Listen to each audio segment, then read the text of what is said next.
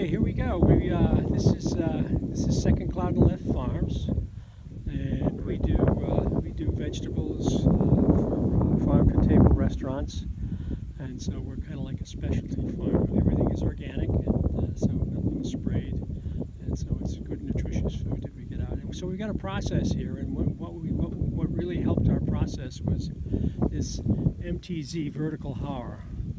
Uh, this is this is a MTZ 100, and when we first came uh, looking at this, uh, we we kind of got it from the BCS gang. And we were going to do some modifications, and uh, then we were steered to uh, Tractor Direct, and Tractor Direct was very open and straightforward with us, and they asked us to do a little do a little video on how we're using this thing. I think this is one of these sleeper tools what happens is this this thing is it's got vertical tines in it and it actually just mixes the soil so it, it, it, it takes care of the structure so that the structure doesn't get displaced.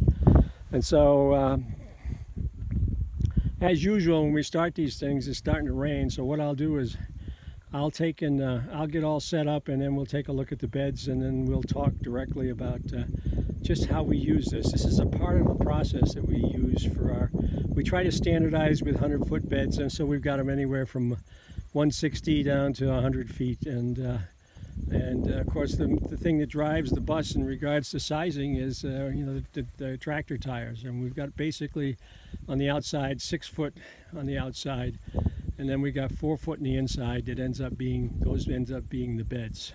So for every six foot of garden if you will we've got four foot of beds. And so we like to concentrate just on just on the beds themselves and not what we call the tractorway. So um, I'm going to go get set up and get started and so you can see how it all works and uh, we'll take it from there. Stand by